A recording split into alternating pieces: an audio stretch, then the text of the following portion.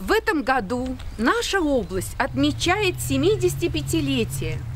Юбилей Великой Победы над фашистскими захватчиками отметили в прошлом году, а наша школа в прошлом году отметила 70-летний юбилей.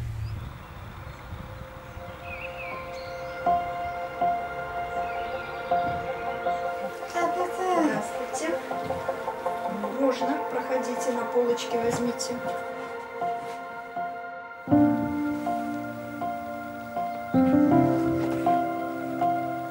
Мы изучили данные в Зеленоградском краеведческом музее районной библиотеки о боях в Сосновке.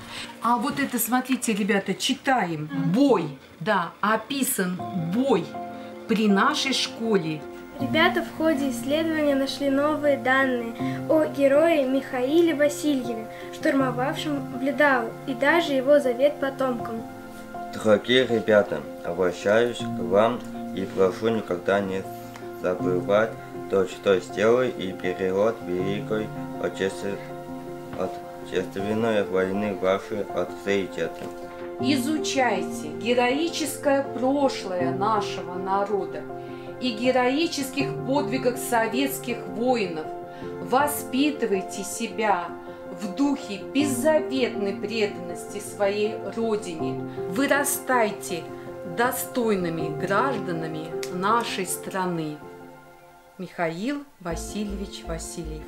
Также провели ребята поиск героев на сайтах «Подвиг народа», «Дорогами победы». Нашли материалы о капитане Васильеве Михаиле Васильевиче 1922 года рождения, награжденном за взятие Бледау орденом Александра Невского. Он был командиром 2-го стрелкового батальона 114-го стрелкового полка 325-й стрелковой дивизии. Один из ветеранов, участвующих в боях за Зеленоградск и Сосновку, Дмитрий Васильевич Ионов, написал книгу «Это было в 45-м», которая есть в школьной библиотеке.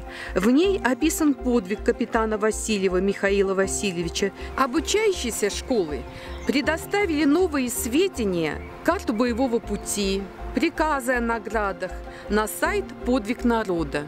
Мы чтим историю Отечества. Был создан проект памятной доски. Наш проект – это только страничка в истории области. Главное, что ее пишут наши дети, новое поколение. Мы любим свой край.